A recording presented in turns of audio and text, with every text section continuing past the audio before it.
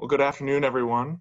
Welcome to a book event with the Competitive Enterprise Institute and best-selling author Matt Ridley. Matt is joining us from his home in England, where he serves in the House of Lords and writes frequently for major news journals on both sides of the Atlantic. A genuine polymath, Matt's expertise includes science, evolution, the history of ideas, as well as economics and law. As a reminder to everyone, and in keeping with a promise that Matt made last week on the internet, we're going to include as many questions from the audience as possible. If you have a question today, please use the Q&A function found at the bottom of your screen. Today we'll be talking about his new book, How Innovation Works and Why It Flourishes in Freedom. Matt, thank you for being with CEI once again. Many of our audience will know that you are the winner of CEI's 2012 Julian L. Simon Memorial Award I think if we were giving an award today, it would be for the timeliest contribution to understanding advances in public health. Welcome. Ken, thank you very much for having me on the show. The Julian Simon Award is right there over my left shoulder. Um, and um, uh, I am extremely proud of it. It's made of the five metals that were involved in the famous bet between Julius, Julian Simon and uh, um, uh, Paul Ehrlich. So uh, I'm really thrilled to be with you and to talk about my new book, How Innovation Works. Before we get into some of the topical issues that are driving the headlines, I, I want to start with the basics, which is what motivated you to tackle this subject? It seems that innovation is something we all think we understand. Uh, I mean, who doesn't love new and useful things? Why, why do we need a whole book uh, uh, about it? Well, uh, the, the answer is that I think it's the most important topic about human beings there is because it's responsible for our uh, current prosperity. It's, it's responsible for the great enrichment of the last couple of hundred years. Um, it's far more important than uh, expropriation or uh, expansion of the population or anything like that. You know, the reason we've seen incredible changes in the world uh, and incredible increases in people's living standards at the same time is because of innovation. So it's quite important that we try and understand that process. And I've danced around it for in a couple of books. The Rational Optimist and The Evolution of Everything um, are books which have a sort of sideways look at innovation uh, while looking at something else. And I thought to myself, I want to stop and I want to actually look at this topic. What is innovation? Why does it happen to people? Why doesn't it happen to other animals? Um, uh, why does it happen in some places and at some times? Um, what is so special about it and why does it happen in certain technologies and so on? And I've had a, a really good go at this and I think I've I decided to tell the stories in a different way, to tell tell tales about innovations that change the world, the stories of who was involved in inventing them, etc., uh, etc., et and what the struggles they went through. And I so I think I've done a really really interesting book about this this topic that is both uh, a sort of essay about how this thing happens, but also an entertaining read about uh, interesting people in history doing interesting things. Um, and you know, I genuinely think it's my best book uh, and uh, will be a huge bestseller. But that's thanks to efforts of people like you to kindly let me on your show. Now, I, I want to. I really want to dig into some of these stories and the people behind it. But before we get there, there's a important preface that we need to to tackle, and this is the distinction you make a very important distinction between invention and innovation. And there's this framework, these ingredients, if you will, for innovation. Help, help us understand where the conversation is going about what is necessary for innovation and why is it different than invention in your view? Yeah, well, uh, I think we tend to focus on the development of an original prototype of a new device rather than the long and often difficult struggle to make that prototype into something that is useful, practical, available, and affordable to, to people. And that's what I mean by innovation, not just the invention of a new device, but, the, but actually making it uh, available to people so that they can afford it and, and want to use it. Um, and that's a, a, hugely important process. We tend to think of the sort of upstream original idea as being the difficult, important thing, but actually that's often not the case. It's often the, the real geniuses are the people who put enormous amount of effort uh, into turning some turning an idea into something genuinely practical um, uh, and, and and useful. So that's my, my focus is to to try and give the innovators credit rather than just the inventors. These are often businessmen, and we often say, well, yeah, of course, he made a lot of money out of this invention. Uh, but actually, uh, I think it's fair to say that an awful lot of work went into it. Thomas Edison is a very good example of an innovator who actually he didn't do that much original inventing. What he did was turn ideas into practical products, and he did so with a huge amount of hard work. He, as he once put it, uh, invention is one percent inspiration and ninety nine percent perspiration. Um, and uh, so you know he tried 5000 different plant materials before he settled on japanese bamboo for the filament of the first light bulb that he produced that's the kind of hard work that you need to do to do uh, innovation.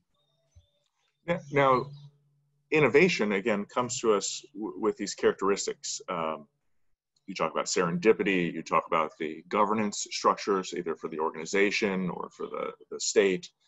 Um, the, the one that really I think might be counterintuitive to people, I want to jump ahead in your list of characteristics, is the effects of fewer resources, innovation leading to the use of fewer resources. And the, it's these counterintuitive things that I want to really ask you to explain because they're, they're the joy of reading and understanding these new ideas. Yeah, I think this is a really interesting point that, that you, you, there's a lot of resistance to innovation in every age the form it takes in the current age is to say, well, we can't afford to have innovation because we might run out of resources. We might run out of land or water or metal or, or something. Um, uh, if we do too much innovating, we're going to uh, destroy the planet. But actually, and, and you often hear the phrase, the line, um, uh, infinite growth on a finite planet is impossible. And superficially, that sounds true. But then when you think about it for a second, you think, well, hang on, if I invent a way of using less material in a building or less energy in a car, I'm using less material and less energy. Uh, so I'm actually reducing the amount of resources that go into keeping civilization going. Um, and so maybe innovation can also reduce our ecological footprint, our demand for resources, etc., etc. And indeed, it does. Look at the miniaturization of a lot of products that's happened in our lifetimes. Look at the incredible increases in fuel efficiency of vehicles, etc. Uh, look at how much less electricity you need for, to get lighting today than you did in the days of compact, uh, of compact fluorescent bulbs or incandescent bulbs.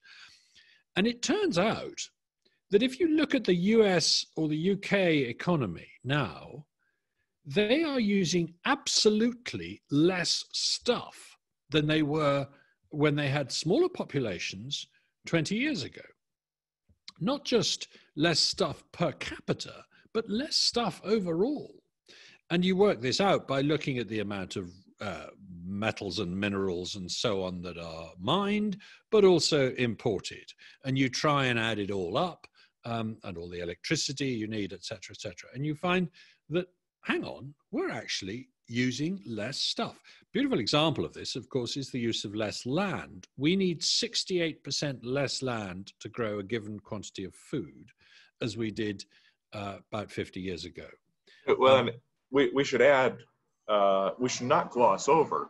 There's an important attribute. We're not only using less stuff, but we're living better healthier, Absolutely. safer, more diversity yeah. in our food choices. All of these things have improved. So you you referenced the great enrichment, which I don't want to lose track of. Could you just explain that for a moment for some of our audience that might not be familiar with uh, yeah. Professor McCloskey? The great enrichment is a phrase uh, invented by Deirdre McCloskey, one of the great economic historians. And what she argues is that uh, over the last uh, 200 years, um, the average per capita income on the planet has rocketed upwards in a way that simply hasn't happened before. And at the same time, the number of people living in extreme poverty has rocketed downwards. Uh, and it, this has accelerated even more in the last 50 years than before. So I've been on this planet for 62 years so far. And in that time, the percentage of the world population that lives in extreme poverty that's less than a dollar ninety a day, uh, has gone from about 65% when I was born to about 7 or 8% today. That's extraordinary. Nobody has ever lived through a transformation as remarkable as that. Um, now, there's a lot of people in extreme poverty still, and there's even more people in slightly less extreme poverty. But when I first wrote the rational optimist 10 years ago uh, and said, you know, things have been getting better and probably will go on getting better, people would say to me things like, well, that might be true of Asia, but it's not going to be true of Africa. There's no way you can lift all these Africans out of poverty. Well, the last 10 years has seen extraordinary advances in the uh, living standards of average Africans. So uh, Ethiopians and Mo- Mozambicans have roughly doubled their income per capita um, uh, in the last 10 years people in the West have not seen such a good 10 years. And that means that global inequality is going down because the poor are getting rich much faster than the rich are getting rich. Now, where does this incredible great enrichment come from? It comes from innovation. It comes from spreading innovations that were made a long time ago to from the Western world to the rest of the world, but it also comes from new innovations uh, elsewhere in the world now elsewhere in the world. Let's let's take that and go with that for just a moment. Uh, you you discuss how innovation requires um, ideas are recumbent, right?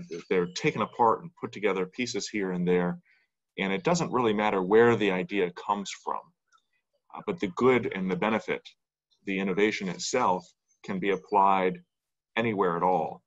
Is that um, I'm, I'm going to start to edge our way toward contemporary issues, is that at risk?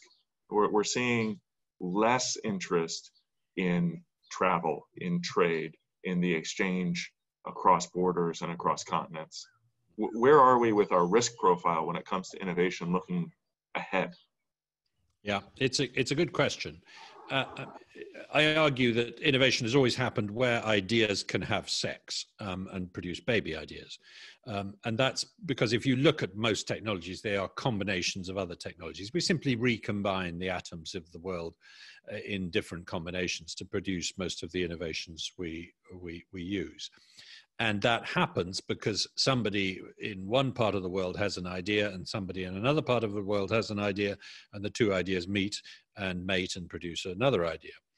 Um, and you can see that this is why innovation happens in trading uh, countries and trading city states.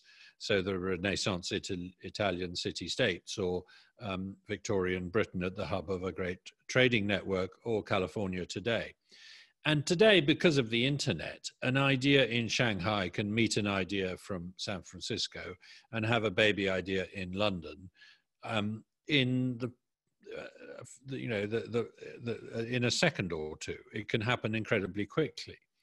Um, so we are we have lived through a period where global connectivity has allowed ideas to to, to meet and to flourish. And that's been very important. That's fed the, the stream of ideas. Now, today we live in a time where there are people are turning their, their backs on free trade to some extent. Um, uh, and there is a degree of desire to move back to national self self dependence for things. Just think if we really took that seriously, what that would mean. It would mean that if my country invented a vaccine for COVID 19 and yours didn't, or vice versa, that whoever didn't live in the country where it was invented would never be allowed access to it because we'd have a trade barrier saying, no, you can't have our vaccines. Do we really want that? Do we really think that this, the vaccine that ends this epidemic, if that's what does end it, or it might be an antiviral cure, or it might be a, a, a, a smart app that allows us to do smart social distancing. Do we really think that we only want to get access to that if it's invented in our own country? Of course not. So that immediately brings you to the benefits of globalization, the benefits of having access to a vaccine wherever it's developed. And the same is true of every other product on the planet. Just because I live in Britain doesn't mean that I should uh, have to be confined to things that are invented in Britain any more than just because I live in a certain village, I should confine myself to the things that are invented or made in my village. So we do have to try and keep the, the advantages of globalization while recognizing that we live in a world where there, there is some tension uh, because of uh, the, particularly in the relationship between China and America, over what has happened recently and indeed over what has happened uh, in previous years as well. So if we can sort those out and keep globalization going, then everybody will benefit. I want to um, want to pull down a little bit, uh, bring us back to I mentioned some of the wonderful stories you tell.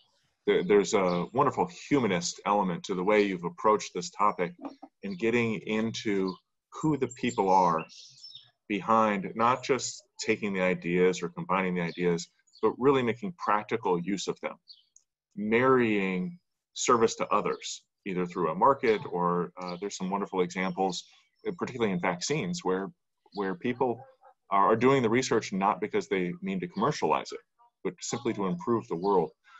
Can you talk about the characteristics of innovators themselves, the tinkerers, the the experimenters, and you started to touch on this with Edison, but I think there's a lot more there. Well, one of the things I wanted to do was get away from the idea that innovators are necessarily geniuses. Actually, they because once you adopt that idea, you start you start to put people off you, you start to tell people no you can't become an innovator because you're just you know you're you're not a genius. You're not at the top of your class. Well i don't think actually that you need to be particularly clever. You need to be good at networking at thinking of ideas at testing ideas at coming up with ideas and and about above all trying experiments and learning from them. And all sorts of people can do that so, I mean, you mentioned vaccines. I write in the book about two rather remarkable women who left teaching to go into bacteriology in the US Midwest in the 1920s Pearl Kendrick and Grace Eldering. And they ended up uh, working in public health in Michigan uh, in the early 1930s. Nothing very remarkable about them. Um, but they, uh, there was a serious whooping cough um, epidemic at the time. It was one of the biggest killers of children of the of the era.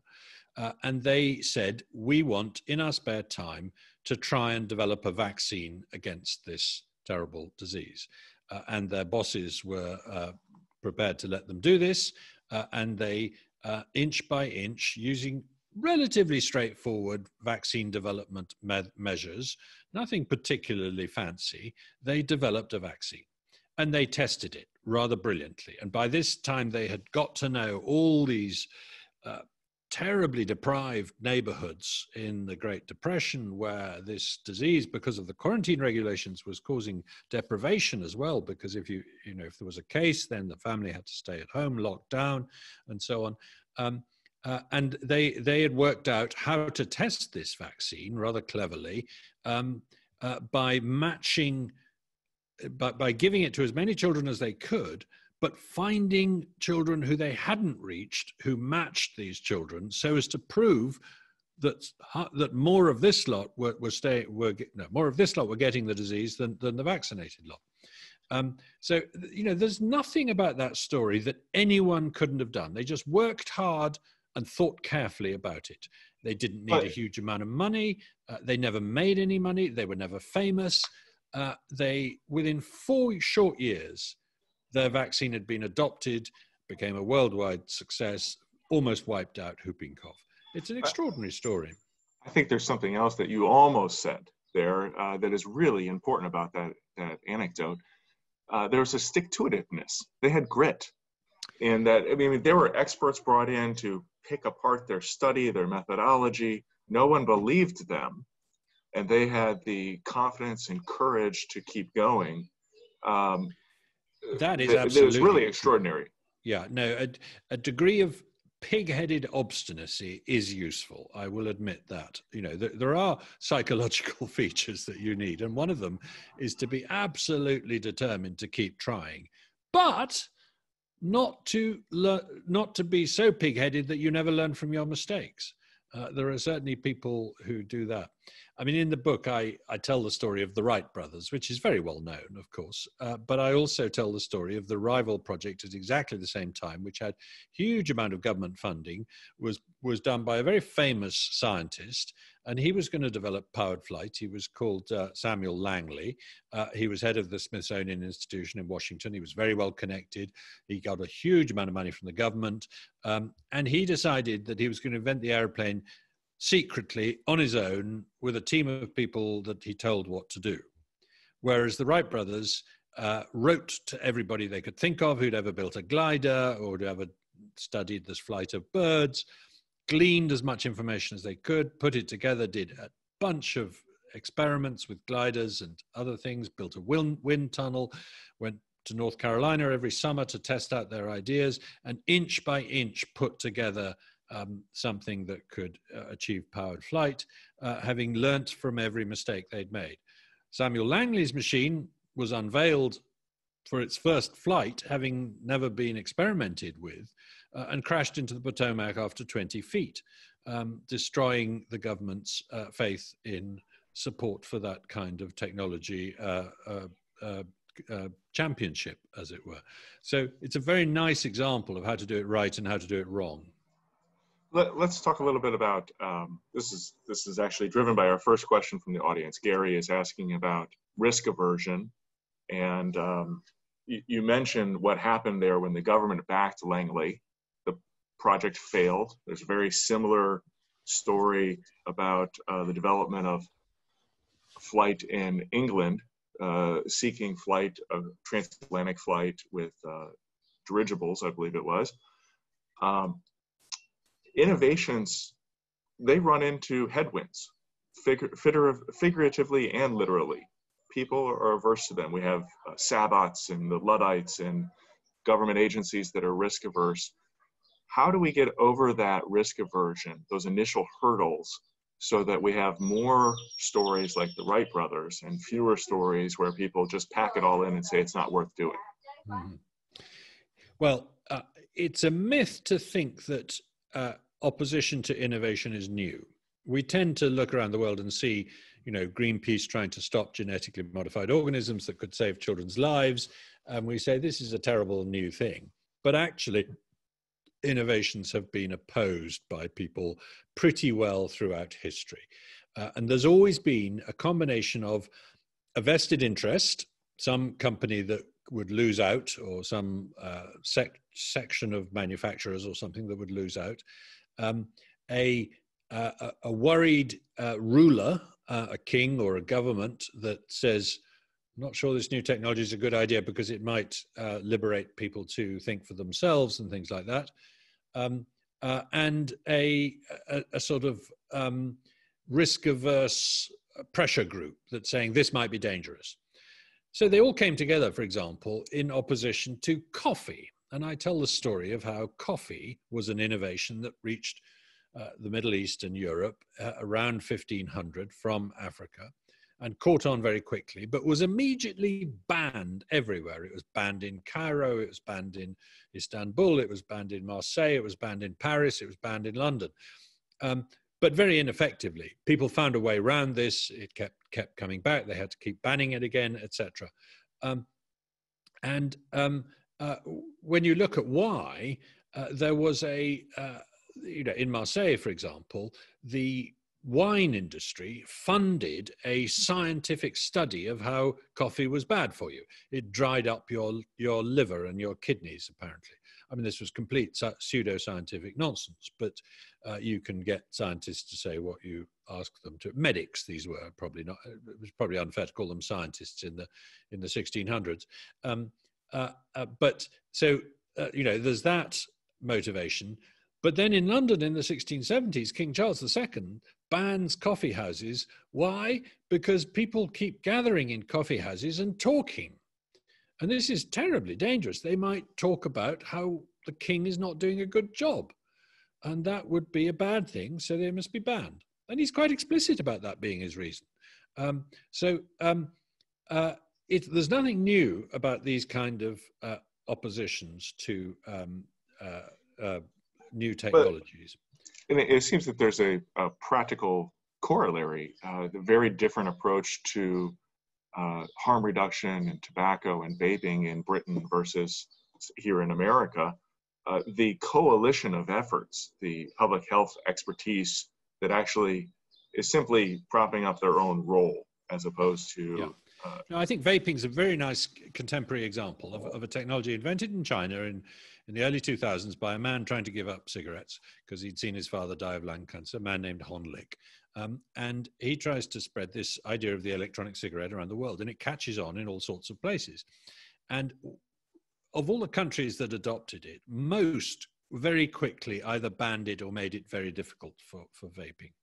Uh, and they did so either because they had a strong tobacco industry lobby or because they had a strong pharmaceutical industry lobby, which uh, didn't like the idea of a competitor for patches and gums, um, uh, or because they had a strong public health lobby, which just hated the tobacco industry so much that they didn't like the idea of anything that even looked like smoking. But one country, the UK, happened to let the um, genie out of the bottle um, so, uh, and, and this was because of a deliberate policy decision to be permissive about this. In 2010, David Cameron had newly got elected, uh, and he was employing uh, somebody called David Halpern to run something called the Nudge Unit, um, and uh, he was he had a friend called Rory Sutherland, who's an advertising executive, and he was an early adopter of an e of e-cigarettes, and he pulled one out and puffed on it while talking to David Halpern, and Halpern said, "What on earth is that?" And um, Rory Sutherland explained that this was this new way of getting nicotine, which was bound to be far lower risk than um, uh, cigarettes, and so it was a good thing. And sure enough, Halpern told Cameron not to ban it when the public health lobby came along and asked to ban it, as they inevitably did quite soon after that. Uh, and so a really vigorous industry developed in the UK, and about 3 million Brits now vape, which is not much less than the number that smoke. Smoking has declined much steeper in the UK than anywhere else, uh, etc., in Europe. Um, but what the British government did, which it did quite well, is it while it allowed this technology and it actually encouraged it, it now has public health campaigns saying if you want to quit, this is one of the ways to do it. It also brought in rules for product safety so that you wouldn't get a black market developing in dangerous forms of vaping. The American way was much more we hate this so much, we're just going to try and prohibit it. And because we're trying to prohibit it, there's no point in passing laws about whether the products should be safe or not. Um, so you've ended up, as you did with prohibition 100 years ago, um, making a technology more dangerous. Because in the US, indeed, vaping products have now killed people because they are using inappropriate substances uh, in inappropriate ways because there's no legal market of relative of safe products which people want to keep safe. So it's a very nice example that of two countries taking a different approach. I'm not here to say brits do everything right and americans do everything wrong but on that one issue of harm reduction partly because britain tried an experiment with handing out free needles to drug addicts during the hiv epidemic which was very unpopular at the time, but proved to be a good way of reducing harm, even though it seemed to be endorsing drug use. Um, partly because of that, Britain has almost bought the argument for harm reduction. It's a difficult argument to make to the public, but it is one that can be made. It's, you stress there that the government chose a policy to, a, uh, to be permissive, to allow this experimentation. I think that's important there's a corollary to that, and they trusted individuals to make risk assessments for themselves about their own lives and what they would ingest. And uh, that's something that I think is another way of understanding what happens and how the government interacts with the electorate or the people that they're trying to govern. Absolutely, and and just to give you a, a good an example of of doing it wrong, and the UK doing it as wrong as anyone, um, that the whole story of the compact fluorescent light bulb is a shocking example of governments forcing consumers to adopt a technology they weren't keen or willing to do. Um, so um, the um, uh, um, uh, hang on one sec. He has been fed. My dog has been fed. It's just that was an important piece of information for my wife. we both had an interruption, I think. Um, yeah, I, I have a neighbor child who's not entirely pleased with this this program. it's a very nice sound. Uh, let, let me see if I can move into uh, some rapid fire questions. I've got a queue building up from our, from your I'm sorry, your yes, audience I'm, I'm and fans.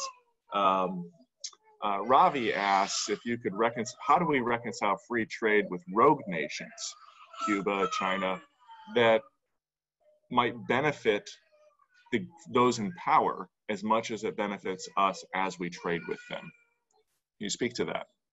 Yeah, I think this is a very good and difficult question. Uh, you know, if you trade freely with um, a country, you, on the whole, uh, deliver it some prosperity, and that prosperity might enable the ruler to uh, benefit. Um, uh, but uh, you know, in the end, you also build a bridge to that country, and it's the people of that country you're trading with, not the government. I think that's a very important distinction. And uh, the, you know, the, the evidence shows that countries that trade more are less likely to go to war with each other. That's much more important than whether they're both democracies, uh, curiously. Um, and so uh, it, it, it, far, it, it, it is actually a pretty good way of undermining an unsavory regime uh, to, is to um, make sure that you're freely trading with, with that other country. So Cuba and China are two good examples because in the case of Cuba, the United States chose not to trade with Cuba for a very long time. Did it undermine and cause the regime to collapse? No, it didn't. It just punished the Cuban people, arguably. China, um, America has traded freely with China to the great benefit of both sides of the equation. I think it's important to realize that you know American consumers have enormously benefited from cheap manufacturing in China and so on. Um, uh, and that, for a while, led to a, an increasingly open society in China. At the is, moment, is there, we've now is, got the opposite happening a, a, a, regime in China that is far more authoritarian uh, and dirigiste, and I think that spells trouble. Is there evidence that one or the other strategy uh, tends toward the improvement of the rule of law in the trading partner? If you assume that the partner is a rogue nation, does trading versus not trading, uh, is there evidence that suggests one leads toward stronger rule of law in that nation? I think the evidence suggests that over the long period, this might not work in a short time, but over a long period, the um, uh, the, the, the two countries that trade with each other will tend to uh, drive out bad legal practices. So if you look at sort of medieval trade in Europe, the sort of Hanseatic merchants and people like that, they basically your you know your credit was only as good as your reputation. Uh, and you know you had to uh, stick to your promises and obey the law uh, and agree to be um, uh, judged by the law if you were to be welcome in you know antwerp or hamburg or wherever it was you were traveling to next. Um, so it does on the whole spread good practice now, if you take a modern example, China's attitude to intellectual property is often very lacking in uh, um, respect for uh, the legal tradition uh, in the West. And that is a problem. And if it was more respectful of that, it would get more trade. It's as simple as that. But I actually share quite a lot of skepticism about whether our intellectual property system is a good idea. On the whole, I see it as a barrier to innovation and a barrier to trade. So I think we're far too restrictive about intellectual property. And to some extent, uh, I say that in this one particular area, undermining copyright and patent isn't quite such a bad thing. I say that as an author who makes money off copyright, so it's a little hypocritical, but there we go. Jerry asks us, uh, wh- why we might be on the brink of an innovation famine. So I, th- I think he's at least partway through the book. So that's a one one sail to be notched. Tell us about the innovation famine. Yeah, well, one of the last chapters in the book uh, is called The Innovation Famine. And in it, I argue uh, that far from living in a period of abundant, accelerating, continuous innovation, we might actually be living in a period when innovation is going too slowly. And you can only see that all too easily if you look at uh, the state of vaccine development, which is far too slow, or the state of development of medical diagnostic devices, which take many months, even years, to get approval by the government. Um, uh, and if that hadn't be, if that had been a faster process, then we'd have more devices with which to fight this particular pandemic. So um, I, I do genuinely think that because of intellectual property, because of regulation, uh, because of uh, uh, uh, lots of other factors, we have put obstacles in the way of innovators, particularly in the West, that have made it tough to bring forward new innovations. Um, and it's quite worrying how much we're doing that and how much we have been doing that. Peter Thiel makes the point that, that we, we innovate readily in the digital area, area but we don't reg, readily innovate in uh, real uh, tangible products. And, you know, so it's much, much harder to develop new drugs than it used to be. And think of what we're missing out on because of that. The, the one area that you do dive into uh, quite thoroughly, I, I found, was the barriers that are created by legal jurisdictions. And so we have a question from Joe. Uh, he asks if increasing the number of jurisdictions competing to attract innovators would that accelerate the rate of innovation? And I think married with that is a is maybe if you could give us a discussion about the role of empire, uh, which has its corollary within organizations for large bureaucratic structures. Yes. Well, uh, I'm rather down on empires. Uh, I think they have a poor track record of encouraging innovation. You get enormous empires with enormous wealth uh, and a huge amount of trade inside them, and yet very little innovation. Something like the Ottoman Empire, something like the uh, the Ming Empire in China. Um, these were empires that inherited a, fl- flourishing innovation system and basically killed it. Uh, and they killed it by too much bureaucratic top down centralization, too much telling merchants what they could and couldn't do, too much uh, demand, demanding that people apply for licenses before they try something new. Um, whereas fragmented uh, city states like ancient Greece or Renaissance Italy um, uh, or the Netherlands uh, at, at, at, their height, or the American states, the federal system of the United States, have proved to be much better at innovation. Why? Because they're competition. They're basically competing for the attention of wealth creators, saying, "Come and live in my regime because I will treat you better than the other lot, uh, and then you, I can have the benefit of, of your work here." Um, and so we see this. We see people like Gutenberg, the inventor of of printing moving from one city to another to try and find a congenial regime in which he can do his innovating. And we see it today. Just the other day, Elon Musk was threatening to leave California for Texas because he doesn't like the regime that California is imposing. So um, uh, it, competition among different legal jurisdictions is very important to keep them from uh, killing the goose that lays the golden eggs. Now, you will notice that that is a good reason for Britain leaving the European Union because increasingly the European Union has become a nascent empire.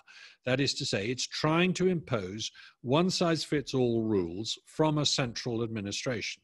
It doesn't believe in what we call mutual recognition, where, which is the way you know the UK trades with the US, for example. You say, look, if this food is safe enough for you, it's safe enough for us. And we say if it's safe enough for you, then it's safe enough for us.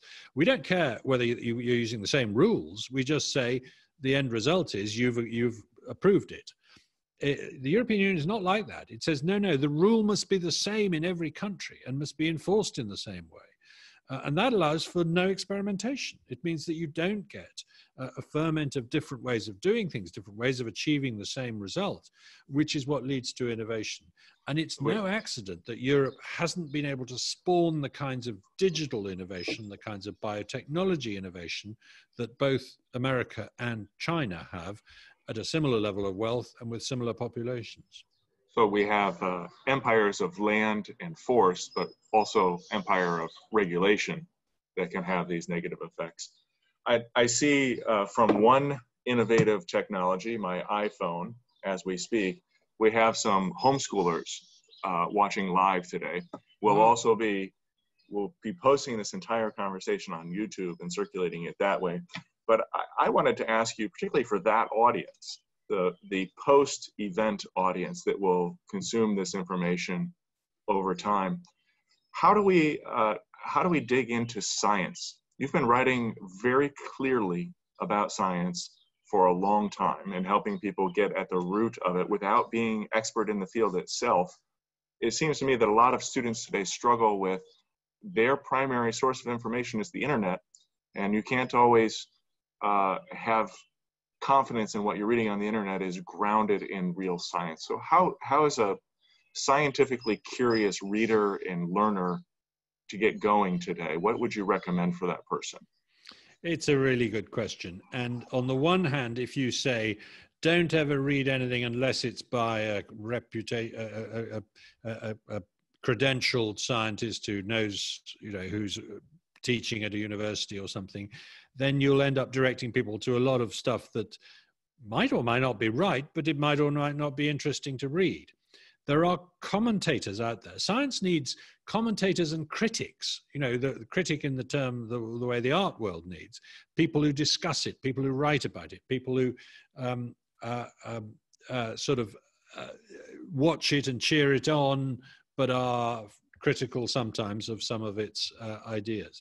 So um, I, I, think um, that it is uh, it, it, science is fantastic. It is the greatest human achievement, bar none. The fact that we know the structure of the universe, the fact that we know the age of the Earth and what happened in times past, the fact that we know what a gene is in the middle of a cell, these are incredible, wonderful things that we have discovered, far more exciting than any um, uh, than anything else in, in the in the in the culture, in my view. So this is a fantastic corpus of knowledge, and it's a fantastic source of new mysteries. What you need to do to uh, keep up with it is learn a certain amount. You have to put in a little bit of hard work. It's not easy to sort of walk into a new discipline like virology and expect to understand it straight away. But at the same time, you don't need to get bogged down in every detail. Um, uh, and always check. So if you find something that's really interesting, a really interesting essay on a virus or something like that, um, read it, enjoy it, and then go and check it. Check whether other people are agreeing with it or not, because uh, eventually you'll find somebody who says, This is rubbish. Um, he's all wrong, and here are my reasons. And those reasons might be persuasive and they might be very good reasons, in which case you're right to reject your original uh, liking of that essay. But they might not. They might, like a bad TripAdvisor review, actually tell you, you know, I've read TripAdvisor reviews that tell me don't go to such and such a hotel. And I've, the reasons given were ones that made me think, well, actually, you know, they say things like it's too quiet. I quite like a quiet hotel. Do you see what I mean? So, so actually, if, if you're reading people criticizing each other within science, making sure you read both sides of every argument, then you will eventually make up your own mind about which side to believe. So that's the really important thing, I think, for young people today is never to stick to one side of the argument, never to just read more and more of the same view. Go out there and find Professor X who thinks Professor Y is talking nonsense and read them both. That's my advice. Wonderful. Skepticism married to curiosity. Correct. Uh, we have a we have a question from Leonardo uh, about the Leonardo. Uh, a Leonardo asks about automation and the destruction of jobs, and you have a, a nice uh, explanation of this as it relates to driving and automated vehicles. Uh, what is the role for government in the either protection of current jobs or preparing people to move into new fields?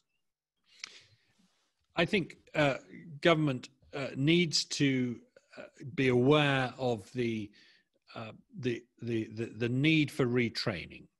Uh, and this is always true and always will be true.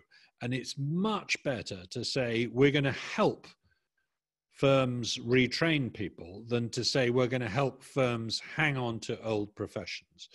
Because we've shed the vast majority of jobs in agriculture, many jobs in manufacturing, and lots of jobs in services. And yet, there are more jobs than ever. More people are employed than ever before. Unemployment is very low. At every stage in the last 200 years, there have been people saying automation, invention, innovation is bad for jobs. It's going to destroy work. It's going to leave people high and dry. And that just doesn't happen. And the reason it doesn't happen is because the reason jobs exist is to supply the needs of people who want needs supplied. And they will, if they're better off as a result of automation, have more needs to supply. So, you know, um, back in the 18th century, there wasn't much call for pet grooming salons because people couldn't really afford enough money to waste on things like that. There is today. Likewise, in the 18th century, there were no such things as flight attendants or software engineers because neither industry had been invented. So technology invents new jobs as well as gets rid of them, and it provides us with the opportunity to think of new services that we would like to acquire from other people um, uh, and go out and, and so those new services those new products that is the engine the conveyor belt if you will of that great enrichment bringing Correct. us ever ever greater uh, quality of life I, I have a question uh, about uh, science itself as it relates to policy um, you know there's this idea that that it seems persistent within policy circles that if you invest in science, the spin-off products will follow. It originated uh, perhaps in the United States with Vannevar Bush, but there's there's doesn't seem to be evidence for it. And I wonder if you could help us understand why that wrong idea sticks with us and, and how we should think about the role of investment into science. So, uh, science can lead to technology and uh, uh, innovation, of course, uh, and it often does.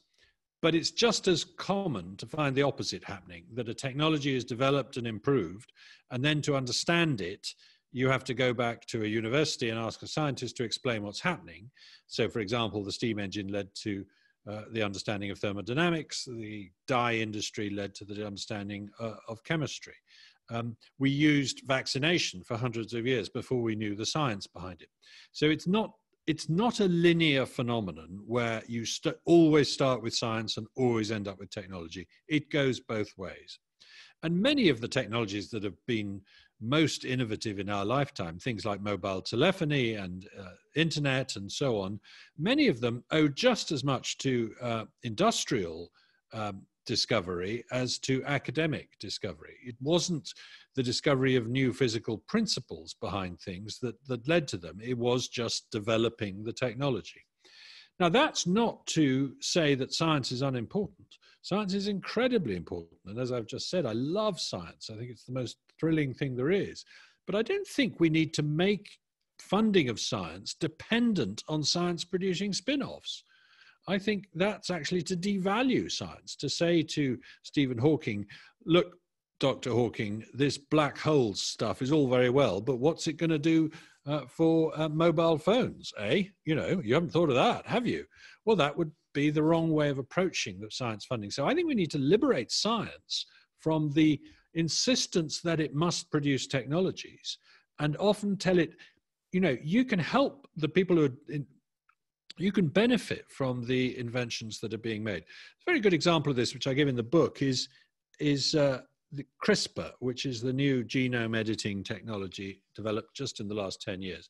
And superficially, when you look at it, it looks like it starts in universities, Berkeley and MIT, and then it ends up in the real world doing uh, agricultural and medical applications. But when you look into it close, more closely, the Berkeley and MIT teams got the technology, got the idea from work that was partly sponsored by the yogurt industry because the yogurt industry was trying to understand how to make bacteria resistant to viral infections. Um, and they stumbled on this extraordinarily precise uh, DNA sequence recognizing device that bacteria use to identify their enemies. Uh, and they realized that this could be repurposed uh, into a genome editing technology. So that's an idea that has jumped backwards and forwards between science and technology throughout its development. One thing I've uh, taken small pleasure in in the last hour is I I took the liberty of reading through the acknowledgments of your book, and you have this wonderful habit through your your research and writing of interacting with uh, people all over the world. There's dozens and dozens of, of references to leading scholars, but also practical people, people that are out running businesses, people that are out uh, developing the institutions. And I think this is now the third question that is coming in from someone who I recall seeing their name referenced somewhere in your book. Right. So y- your conversations uh, continue. These people want to keep engaged with you. And Josh is asking about, he's, he says, given the collapse of peer review, to keep agenda driven science out of the literature, the formal scientific process, and the refusal of many researchers to share data. What reforms would you suggest? Can, can you talk about a red team, blue team framework? Again, this is bringing these big questions of science into the realm of policymaking so that we can better inform the rules that we make for society. Yeah. Yeah. Uh, explain this red team, blue team idea. Yeah, well, I think Josh is quite right that peer review is irredeemably corrupt and broken as a technology. The idea was that scientists would would uh, read each other's papers and and and suggest corrections and, and errors. And in fact, it's it's it's turned into a gatekeeping system where they only allow uh, papers to be published that are um, that they approve of, uh, and they keep out people that they don't approve of, uh, and so on. So there's a lot of back scratching and so on. Um, uh, and the alternative is to say what scientists are human beings and they try and prove their hypothesis to be right. They don't try and prove it to be wrong, which is what they ought to do because that's the best way of testing it. But they try and prove it to be right. They look for evidence that confirms it. They don't look for evidence that might disconfirm it. There's nothing wrong with that. That's the way we all operate. We get a bee in our bonnet and we go for it like a prosecuting attorney. Um, uh, but what keeps us honest in science is the fact that while you're doing that, somebody else in some other institution is saying that Ridley chap is, I'm sure he's wrong. I'm going to try and prove him wrong. So uh, they set out to try and prove me wrong. And that's what has kept science honest and kept science from falling into the conf- confirmation bias trap so that it does produce objectively true results that can be trusted. The fact that A challenges B and says, I think your theory is rubbish, here's an alternative theory, and you know as i say we don't know who's going to win this argument but we know that it's it's it's vital that you have the argument. The decentralized state of science is very important here. The fact that science is fragmented all over the country in lots of different universities uh, and you're not dependent on professor a who you're attacking you're dependent on some other institution. So that's been very important so in that sense a red team versus blue team approach has been inherent in science for decades and that's what's made it work in recent years, we've seen the development, particularly in climate science, of a tendency to say, no, everybody must be on the blue team. Everybody must adhere to a particular set of views. And we will not let anything into the literature that doesn't uh, conform to this. It's called the consensus. Um, uh, and I think that's very dangerous because I don't, I think that is what is making uh, climate science particularly uh, un, trustworthy, unreliable these days. It's coming out with results that are that turn out to, to be wrong and that have to be revised quite quickly. So um, uh, we, might think, have a topic for your next book. Uh, I, I'm seeing now uh, "The Devil's Advocate" by Matt Ridley, the the crisis of well, replication and trans replication and transparency in science. Well, the replication crisis is another part of this and a very, very important part and a great discovery by a number of very brave scientists. And it's been very hard work for them to get, get heard because, you know, what they've found is that the literature is publishing uh, uh, statistical flukes and that can't be repeated. And these are then uh, taken as gospel for far too long. I know you have another obligation with our friends at the Adam Smith Institute uh, this evening there in England. I want to see if I can squeeze in a couple more questions. Uh, Joe is asking if innovation is fundamentally unpredictable. And he adds, are angel investors flying blind? Um, in some ways, yes. I mean, if if take take the search engine uh, from here, looking backwards, it looks fantastically predictable that the search engine would be developed in the 1990s. But back in the 1980s, did lots of people sit around saying, "You know what we need to invent? It's search engines."